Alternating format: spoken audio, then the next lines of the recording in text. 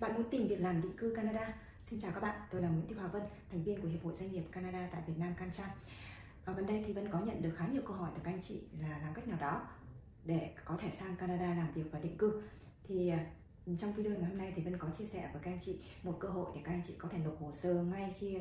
ở Việt Nam. Đó là cho vào ngày à, có hai sự kiện. Sự kiện đầu tiên đó là ngày 28 tháng 10 và sự kiện thứ hai là ngày 15 tháng 11 nếu như các anh chị à, có thể giao tiếp được tiếng Anh và thứ hai là các anh chị có sẵn CV tiếng Anh thì các anh chị hãy mà chuẩn bị ngay một bản CV và mang đến sự kiện à, tại văn phòng công ty trách nhiệm hữu hạn Canada PR để có thể nộp hồ sơ phỏng vấn trực tiếp việc làm à, định cư tại Canada à, trong ngày à, à 28 tháng 10 thì chúng ta sẽ được gặp trực tiếp ICIC tại văn phòng và được xem các cái lờ mia có sẵn để xem là à, các kinh nghiệm hiện tại của bạn với trình độ tiếng Anh hiện tại của bạn thì có phù hợp với lại các công việc đó tại Canada không.